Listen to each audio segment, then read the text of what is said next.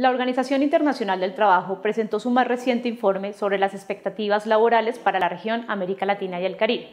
Varios datos se pueden destacar, entre esos la proyección que tiene para 2019, donde el desempleo en la región se ubicaría en 8,1, presentando un leve aumento del 8% que tenía en 2018.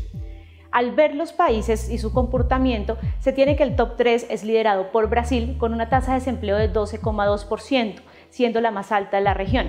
Le sigue Costa Rica con una tasa de 11,5% y en tercer lugar se ubica Colombia con el 10,8% de desempleo alcanzado el año pasado. Bajo estas proyecciones, lo que plantea la Organización Internacional del Trabajo es que a 2020 podrían haber 26 millones de latinoamericanos que estarían buscando trabajo o que no lo consiguen a pesar de estar activos.